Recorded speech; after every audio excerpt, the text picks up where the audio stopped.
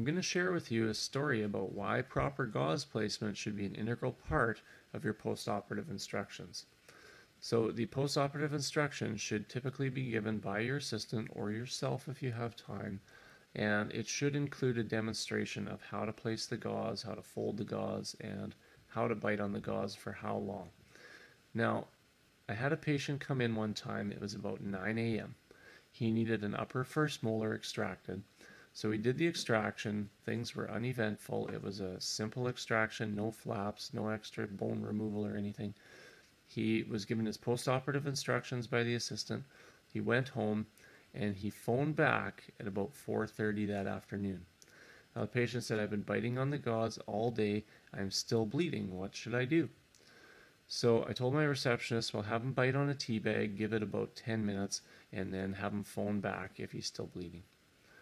So sure enough, about 4:45, he phones back and he's still bleeding. The tea bag didn't work. So he's put gauze back in and he's wondering what he should do. So we close at five o'clock, but I live in a small town, so I basically said, "Come on down, we'll see you again, and make sure that this is all good before the evening." So the patient comes in, and sits down in the chair, and he starts to describe to me that he's been bleeding all day. He thought maybe it slowed down for a while, but then it kind of kept going again when he changed the gauze. He opens his mouth, and this is what I see. and actually, what I did see was a giant liver clot sitting on top of this gauze. But what the patient was doing was he was biting on the gauze just as he was directed. So he was told bite on the gauze. He wasn't shown how to bite on the gauze or where to position the gauze just to bite on it. He was biting on it and the blood was just pooling on top of here. There was absolutely no pressure over the extraction site. So it seems trivial, but this is something that we need to tell our patients and we need to demonstrate, like I was saying. So the proper way to have done this would be to fold this gauze up into a square.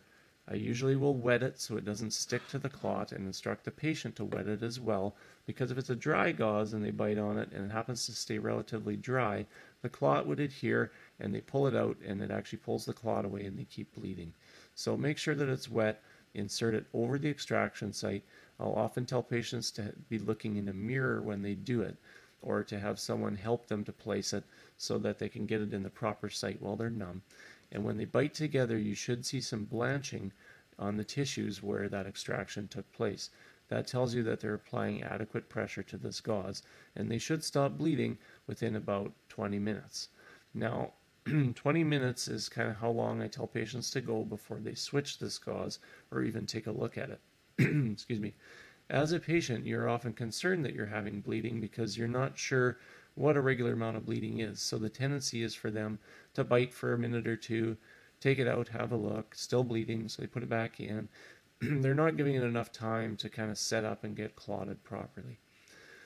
Now, the other thing that I would say is make sure that you tell your patients and emphasize that they need to do it for 20 minutes at a time, but then stop once the bleeding subsides.